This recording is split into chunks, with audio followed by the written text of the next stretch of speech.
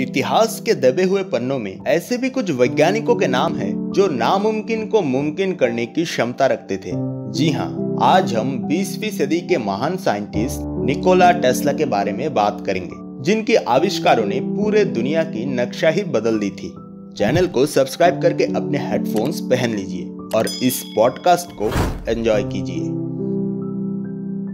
जब बात आती है इनके द्वारा बनाए गए महान आविष्कारों की तब हमारे दिमाग में अल्टरनेटिंग करंट और इंडक्शन मोटर जैसे कई आविष्कारों के ख्याल आते हैं। लेकिन उन्होंने अपने जीवन काल में ऐसे और भी बहुत सारे आविष्कार किए थे, जो दुनिया को पूरी तरह से परिवर्तित करके उसको और भी सौ साल आगे ले जा सकती थी। लेकिन इनके ये इन्वेंशन हम और आप जैसे आम आदमियों से छुपाया गया। कुछ बड़े बिजनेसमैन के द्वारा, ताकि उनके धंधे में कभी घाटा ना हो।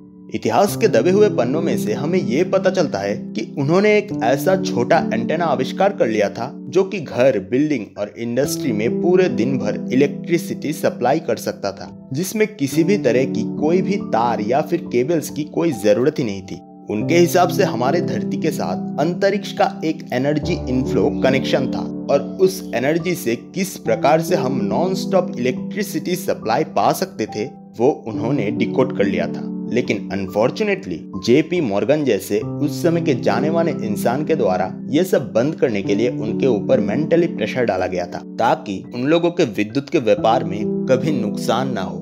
आप इन्फिनिटी वॉर मूवी में देखे होंगे, एक युद्ध के समय बचने के लिए एक तरफ़ से एक एनर्जी शील्ड लगा दिया गया था। निकोला टेस्ला ने भी एक ऐसा ही मशीन बनाने के बारे में सोच लिया था, जो कि एनर्जी बीम या फिर कहे तो लाइट से बने शील्ड का दीवार खड़ा कर सकता था। जो कि युद्ध के समय यूएसए को दूसरे देशों के आक्रमण से बचा सकता था।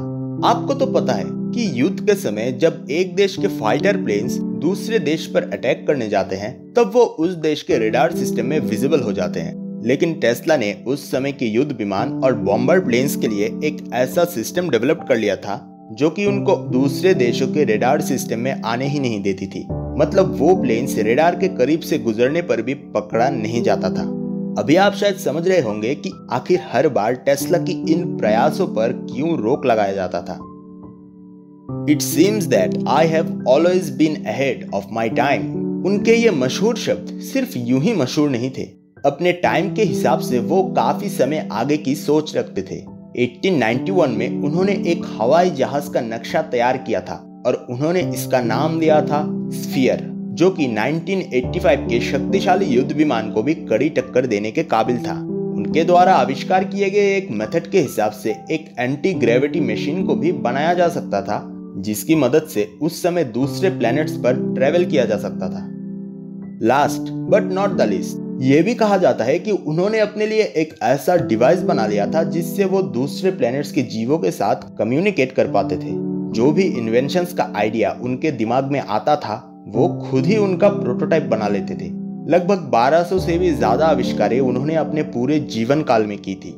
लेकिन अनफॉर्चुनेटली 7 जनवरी 1943 में एक न्यूयॉर्क होटल के रूम नंबर 3327 में छियासी साल के बूढ़े निकोला टेस्ला की लाश मिलती है। उनके मृत्यु का कारण क्या था? इन्वेस्टिगेशन के बाद भी ठीक से नहीं पाया गया। लेकिन ये पाया गया कि उनका सीक्रेट लॉकर टूटा हुआ था, जिसमें से उनके सारे रिसर्च पेपर्स गायब थे।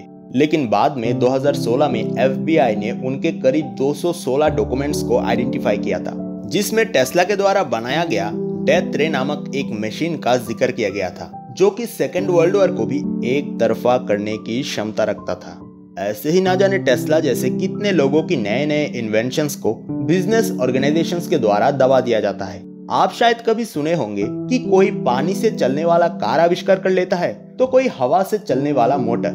लेकिन उसके कुछ समय बाद ही वो न्यूज़ से अचानक गायब हो जाते हैं और धीरे धीरे लोग भी इन सब के बारे में भूल ही जाते हैं। अगर वीडियो पसंद आया तो लाइक कीजिए और चैनल को ज़रूर सब्सक्राइब कीजिए।